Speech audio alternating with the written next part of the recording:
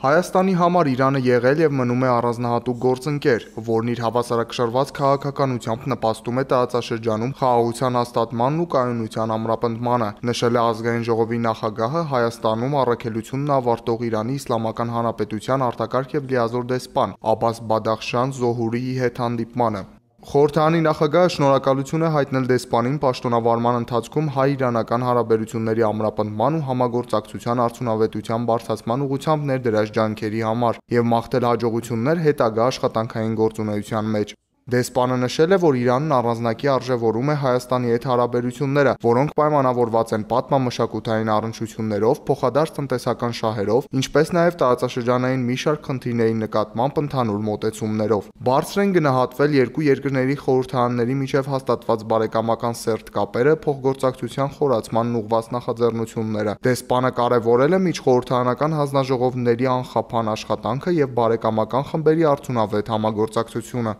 Մեկ տարի առաջ իմ գլխավորած պատվիրակությունը պաշտոնական արդյունավետ այց կատարեց Թեհրան։ Սպասում ենք իմ հարգարժան գործընկեր Մուհամեդ Բաղեր Ղալիբաֆի պատասխան այցին Հայաստան, նշել է ազգային ժողովի նախագահ Ալեն Սիմոնյանը։